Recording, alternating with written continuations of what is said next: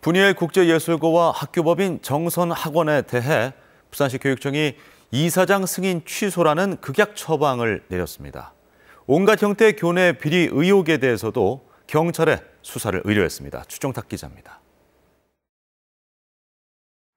부산 분이엘 국제예술고입니다. 국제반의 불법 운영 문제로 교내 분규를 겪고 있습니다.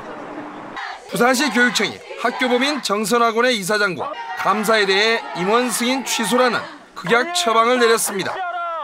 이사장 등이 주도해 국제반을 편성한 뒤 불법으로 운영해 교내 분란을 일으켰다는 판단입니다.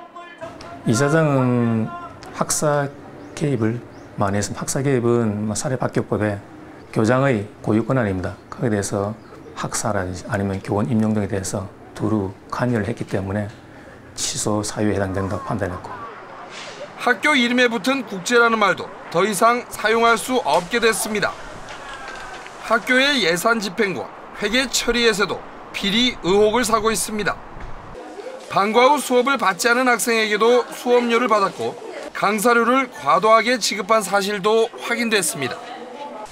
교육 측은 1억 3천만 원을 학부모들에게 돌려주도록 처분하는 한편 강사비와 학교 발전기금 횡령 등 관련자에 대해 경찰에 수사를 의뢰했습니다.